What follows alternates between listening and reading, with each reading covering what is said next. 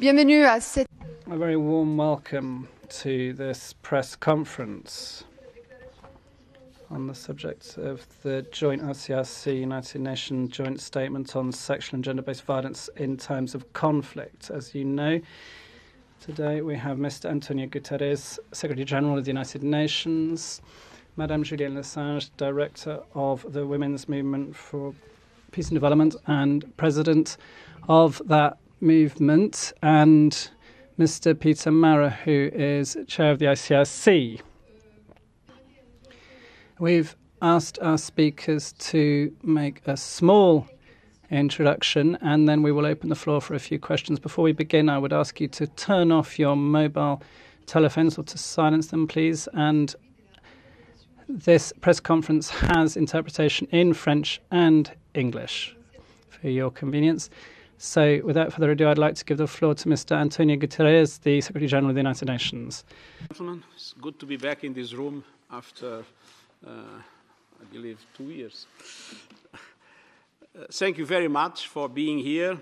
As President Peter Maurer and I, together with uh, Madame Julienne Lusenge, launch an urgent joint appeal for global action to prevent and end sexual and gender based violence in and around conflict.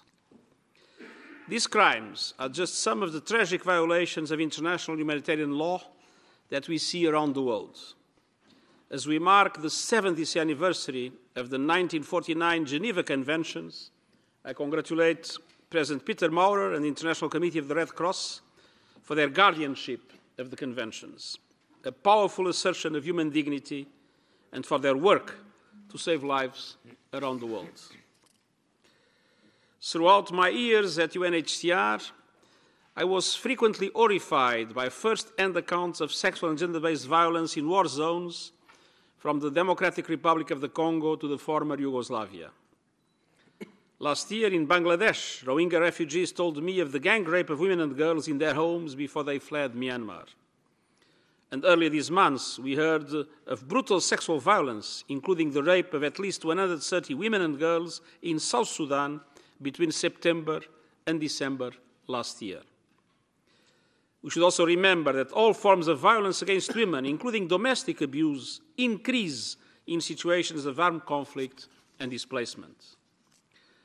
Let me be clear sexual and gender based violence in conflict is not only a horrendous and life changing crime, most often perpetrated against women and girls, it is also used as a tactic of war to terrorize families, dehumanize communities, and destabilize societies so that they struggle to recover, to recover for years or even decades after the guns fall silent. silent. That is why sexual and gender based violence in conflict is now widely recognized as a war crime that is preventable and punishable. The United Nations Security Council has played an important role in the past decades by passing successive resolutions that emphasize accountability for perpetrators and services for survivors. I salute those who have been working to bring these crimes to the world's attention, including Nobel laureates Nadia Murad and Denis Mukwege.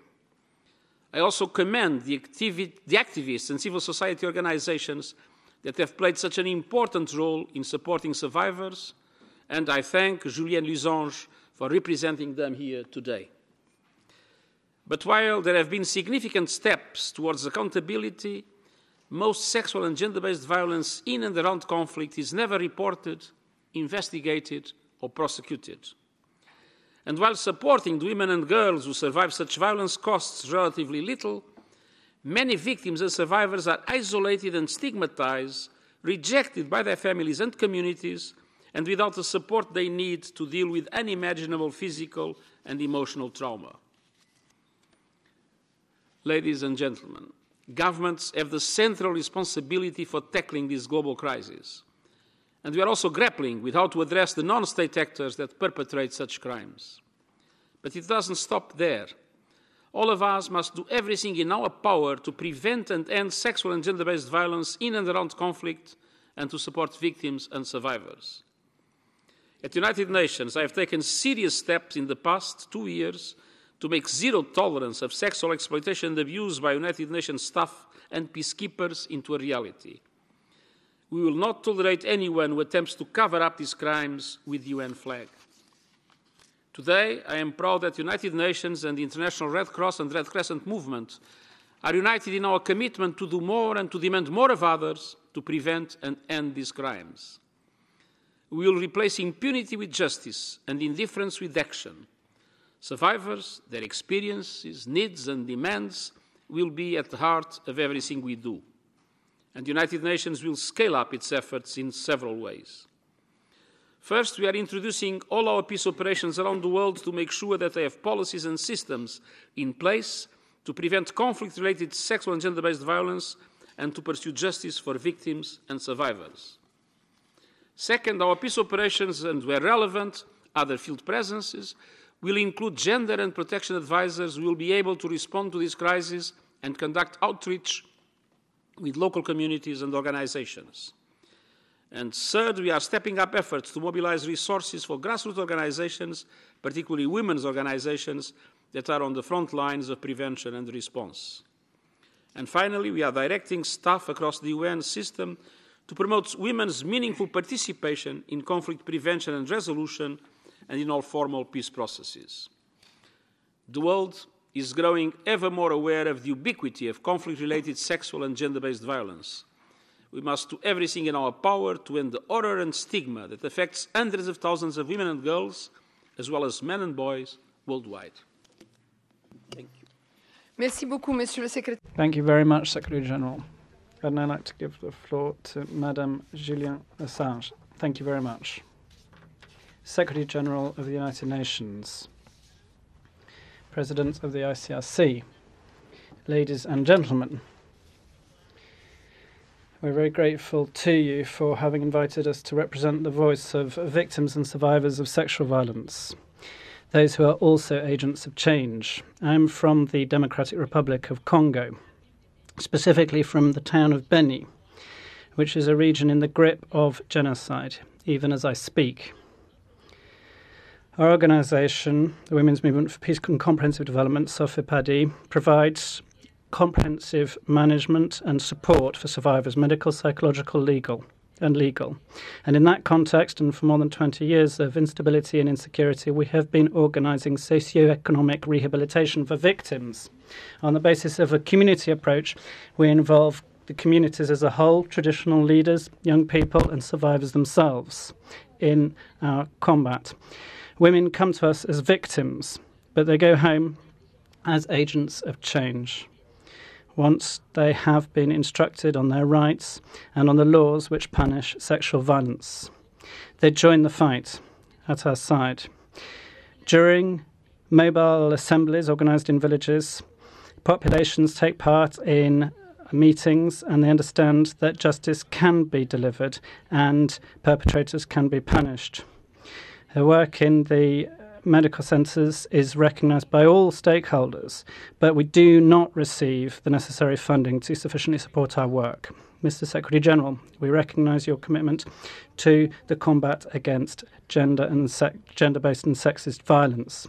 Despite all our efforts, however, violence continue across the world. And during this month of February, our medical centre, Karibuni Wa Mama in Bunia, received in one week 28 children who were victims of serious sexual offences, including a baby of two years. We continue to see women who have been captives held by various different armed groups in our regional offices. They suffer not only slavery but also forced marriages, forced labour, physical and psychological violence, economic violence, and inhuman and degrading treatment domestic violence, bullying in school, and harassment in the workplace are all abuse that is unacceptable. It is high time that we stop turning women's bodies into battlefields, that victims obtain justice and reparation, and that we put an end to sexual violence as a combat tactic. And in order to ensure that this becomes a reality, it is high time that women are involved in peace building and in all decisions surrounding it. It is high time that we make good on the commitment of the World Humanitarian Summit of 2016 in Istanbul, ensuring that the necessary funding is given to organisations fighting against gender based violence. We must set up prevention mechanisms instead of simply responding. We must shelter women. We must facilitate access to core services, provide sufficient health services, drinking water, roads, infrastructure, renewable energy, and solar energy in order to avoid women having to go out into the remote uh, countryside and uh, remote areas where they are at risk of kidnap and harassment. In order to deal with this emergency, we need well funded, technically grounded structures at the local level to allow us to really be able to do this, we must be able to provide training and support and provide the means to ensure that women's organisations and groups can provide the necessary and different trainings they receive to others, that they can grow and establish themselves, and that they can ensure the sustainability of their activities. We must raise awareness among community members as well as young people, fostering their break away from armed groups. The budget for programs around rehabilitation for victims must be genuinely overhauled during the allocation of the various funds to combat sexual violence. And this will allow us to properly design programs to change the life of victims. Children who are born of rape and victims of sexual violence must be involved in all programs.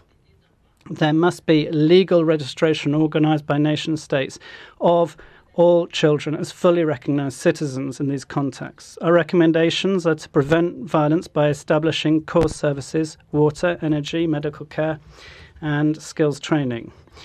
To properly, technically, and financially support training for women's groups in order to make them able to respond immediately in a timely fashion to the needs of women and girls in conflict, in theatres of conflict.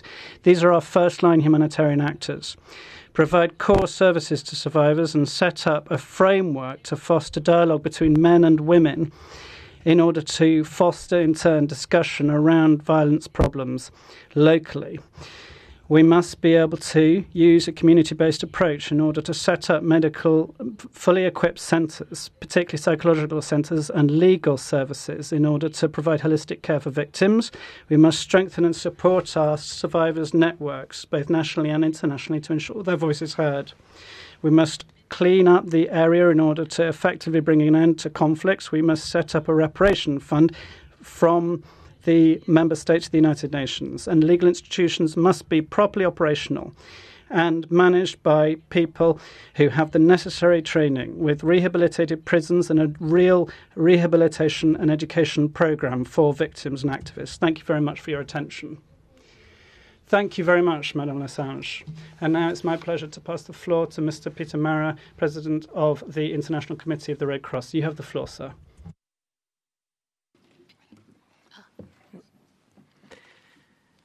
Secretary General, Madam uh, Lusenge, uh, ladies and gentlemen, the world is facing a grave protection failure. The failure to address the enormous harm caused by sexual and gender based violence. The International Red Cross and Red Crescent movement and the United Nations, while working side by side in many places uh, of the world, very rarely speak out together. But as you have heard today, the Secretary General and I have felt compelled, with Julienne, to make a public stand against sexual and gender based violence and together call for urgent action. Today, we pledge to do better for the survivors.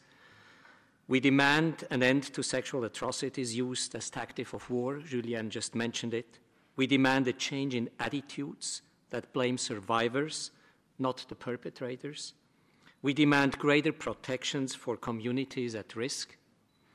Above all, we demand that survivors are listened to, taken seriously, and their needs are put first. In this year, the 70th anniversary of the Geneva Conventions that uh, Antonio kindly mentioned, we are asking states to restate their commitment to international humanitarian law. The law is clear Rape and other forms of sexual violence are violations.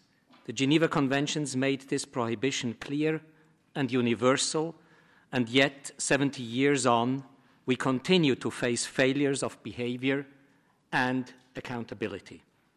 The staff and volunteers of the Red Cross and Red Crescent movement around the world know only too well the devastating impacts that sexual and gender based violence have on women and men, girls and boys. We work with the survivors of horrific acts, including with women and girls given as rewards in war, fathers whose sons have been abducted and raped, young women fleeing disaster and conflict only to be sexually enslaved, and with detainees when sexual atrocities are wielded as means of torture. We see the enormous and lasting harm that sexual and gender based violence causes, both physical and psychological. Too often it is committed with the intent to dehumanize and degrade. We also know there are violations that we do not see or hear. Sexual violence is a crime obscured by taboo. Because of victim blaming and stigma, too many walk with a secret shame. It goes unreported, covered up, and too often the perpetrators go free. These violations are horrific, they should shock us, but instead of turning away in horror or discomfort, we must act. Survivors, communities at risk, and advocates are telling us that more needs to be done.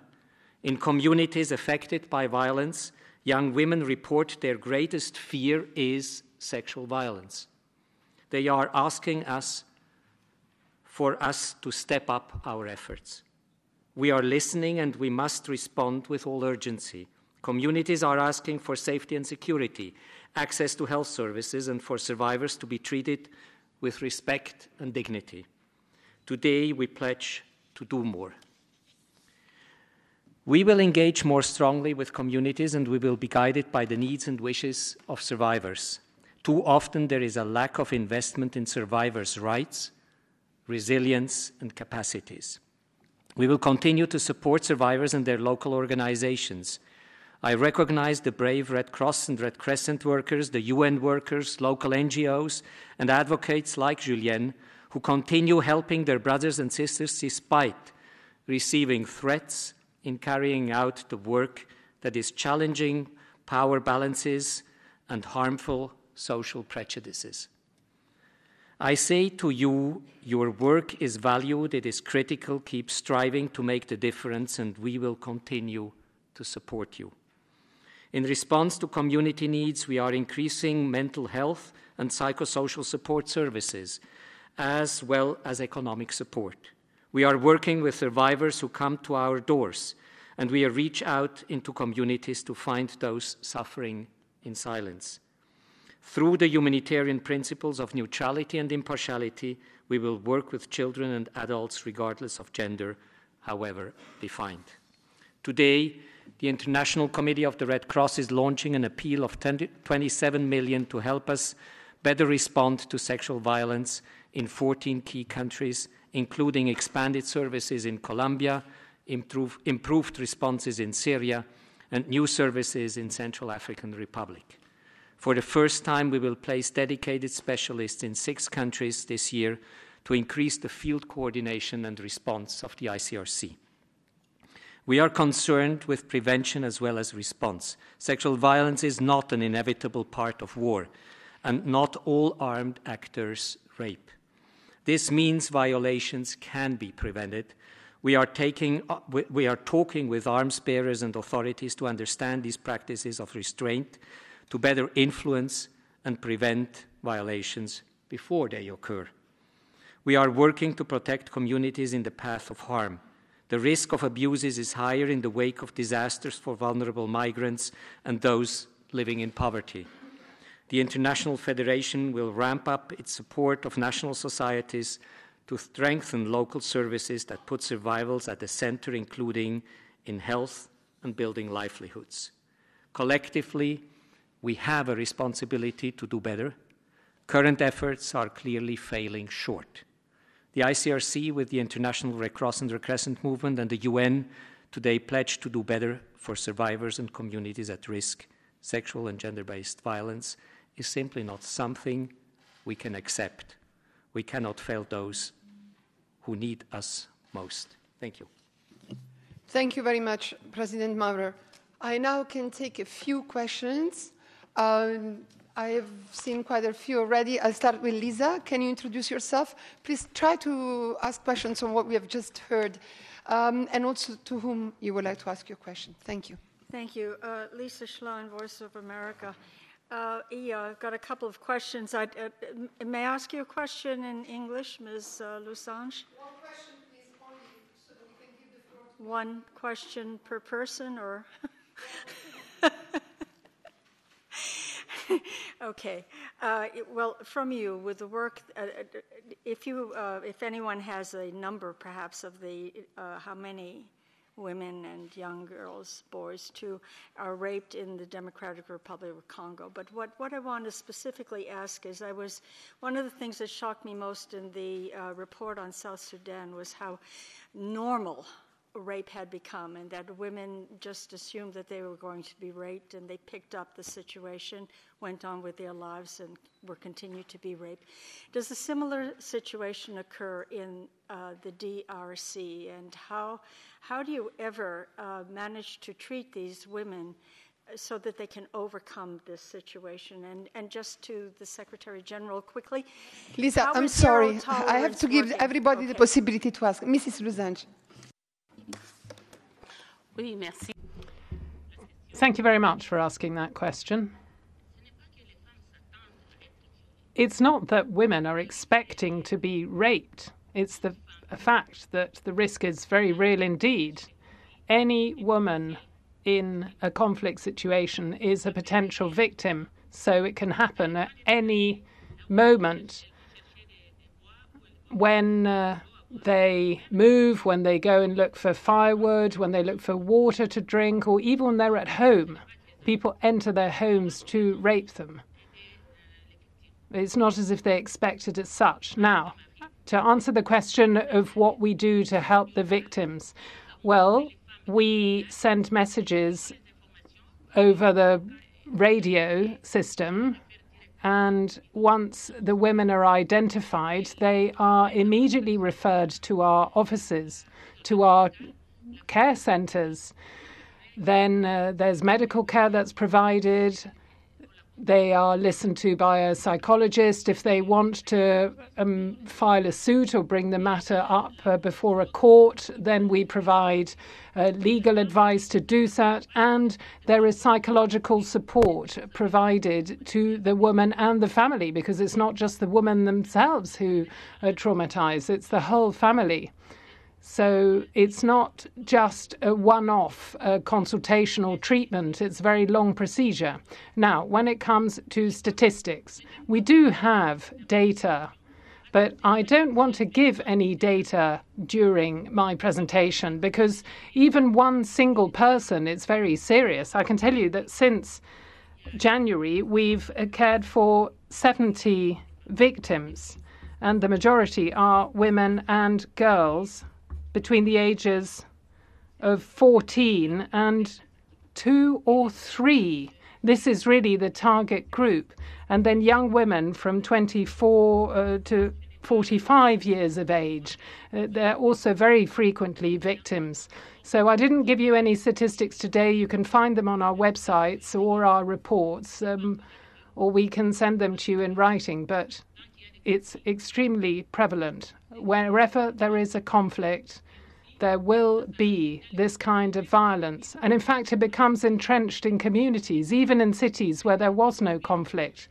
There are cities where we see sexual violence now because there's impunity and there's bad governance. So we're not just going to look at care for victims. We're going to try and work on the system as a whole.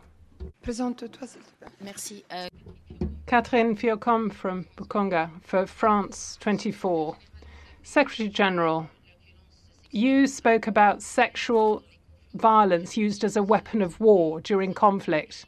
But I want to come back to the question of men and boys there's very little that is said about them. We tend to focus on women when talking about sexual violence. So I wonder whether in the program that you're going to be establishing and that the ICRC will uh, help implement, I wonder whether there's any specific work going to be done to address sexual violence against men and boys. We don't say very much about it, but we know that there are figures testifying to this practice in conflict going way back.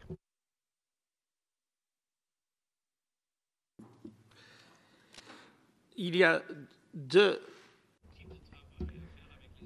Well, there's work in two areas to be done uh, relating to men and boys. There's prevention along the same lines as everything that's done for women and girls, giving them tools to protect themselves better. But there's also awareness raising and educational work to be done with men and boys, particularly in those areas where conflict is rife.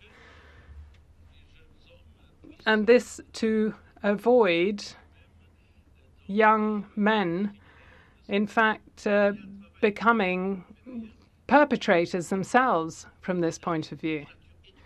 There are a lot of projects underway throughout the world on education and awareness raising amongst uh, young men and men in general to make sure that they become aware of the seriousness of these acts and so that they can be advocates uh, to combat sexual violence in all of the areas where they are. And then there are men and boys as victims of sexual violence.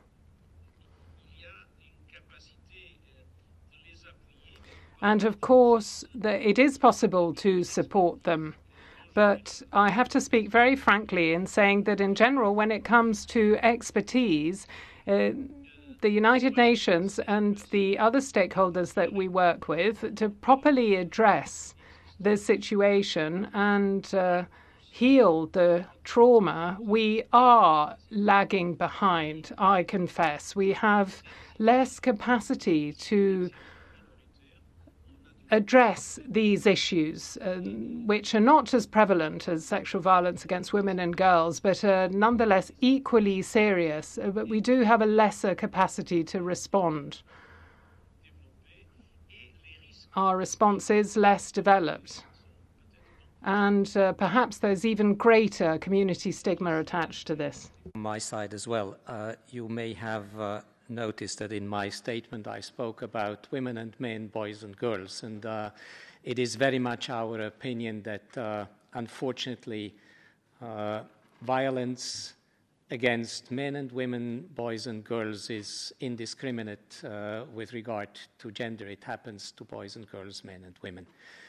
Uh, it reunites with the question on statistics. I think one of the big problem we are encountering is that it is an obscured crime and that statistics are difficult to establish. That's the reason why at the ICRC two years ago we changed our methodological approach and we said our the burden of uh, we have a reversed burden of proof which is basically our hypothesis is that sexual and gender-based violence against women and men is happening and from this basis on, we start to try to build program and responses.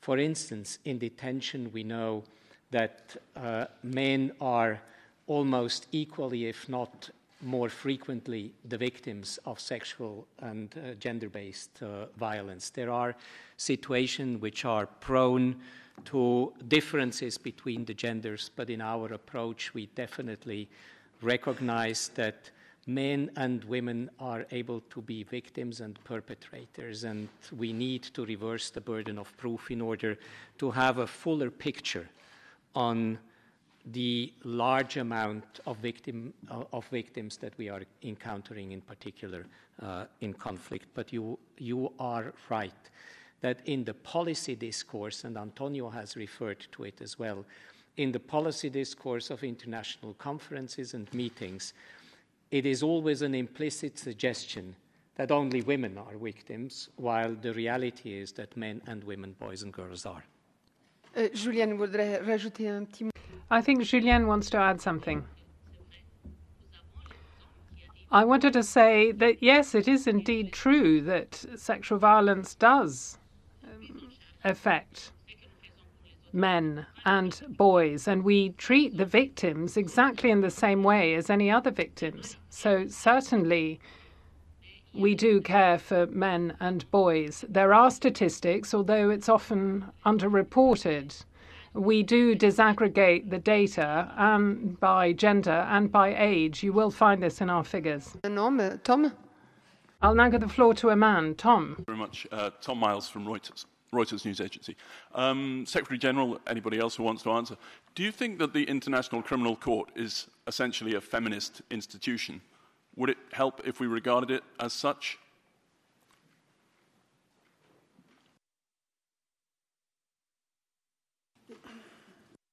I don't think the International Criminal Court is a feminist institution. I think the International Criminal Court is a fundamental pillar in order to make sure that a number of hideous crimes uh, can be punished uh, independently of the gender involved. And um, uh, I think it is very important uh, in the moment in which so many multilateral institutions are under fire. It's very important to support the International Criminal Court and to recognize that uh, uh, international penal justice is an absolutely essential element in our protection, global protection strategy. I would just like to make uh, one comment on the word feminist um, that you made and about the, the, the last question that we have. Let's be clear. We live in a male dominated world and with a male dominated culture. And it's not by chance that many of the crimes perpetrated against uh, uh, women and girls uh, are so often neglected by uh, government institutions and even by international organizations. I mean, um, uh, we all uh, have seen in some politicians when they speak about rape, or even with other uh, people with uh, relatively high status in societies when they speak about rape, how they do it in a way that almost is a punishment to the women themselves.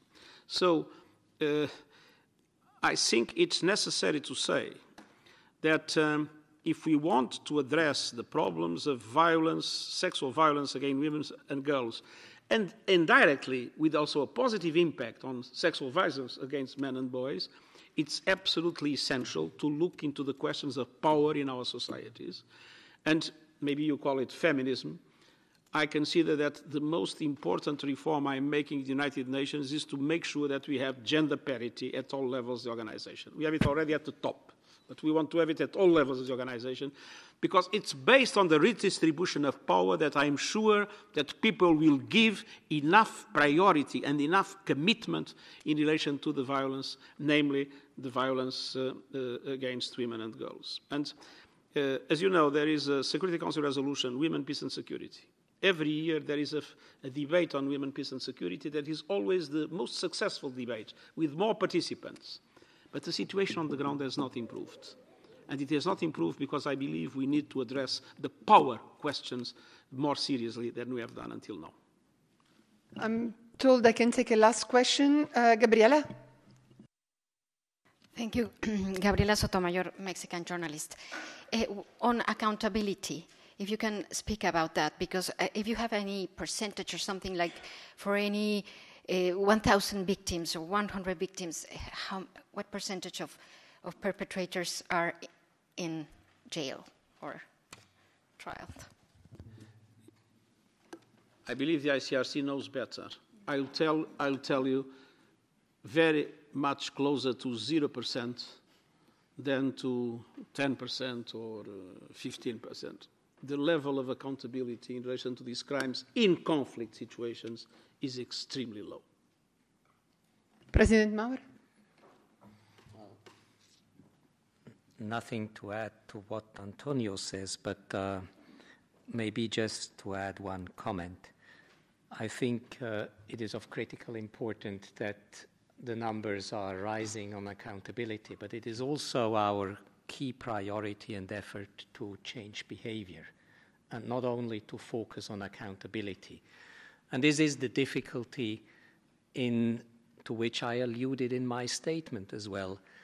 We have a difficulty of engaging with perpetrators in order to change their behavior, which is not necessarily passing by the jails, but it is also passing by training, by informal codes of conduct in armed forces, by informal ways of how behavior comes into societies. Uh, Antonio has mentioned it. Uh, it's a power uh, issue, but I wanted just aside of the issue of accountability, which is of crucial importance, highlight our key effort, which is with regard to engagement and changing behavior, and not necessarily only about accountability and judicial accountability procedures.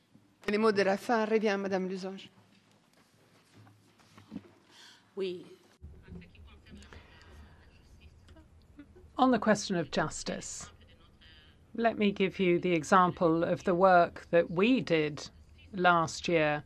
648 persons that we provided care for throughout the whole of 2018, there were 240 suits filed in Beni and Bunia. Out of these 240 suits, we uh, got 168 rulings and 14 cases we lost because there was not sufficient evidence provided, and the rest are still being investigated prior to trial. So, at the national level, there are great efforts being made, and we do deliver justice for women. But the prison structure is crumbling, and the number of detainees uh, really exceeds um, the facilities. So there are 350 persons held in uh, facilities destined for 120. And so, unfortunately, people are released, they return to the communities, continue to threaten the survivors, and even we as defenders are threatened. There is training provided for police officers, for magistrates, for judges to ensure that they can do their job properly. But uh, what's still lacking is ensuring that they have the means to do their job properly. Uh, we also have to ensure that there's no political interference in rape cases. Euh, Thank you very much. I think this brings our press conference to a close. Let me say that you should have received the joint uh, press release by email, the joint UN and ICRC press release, and uh, have a very good afternoon.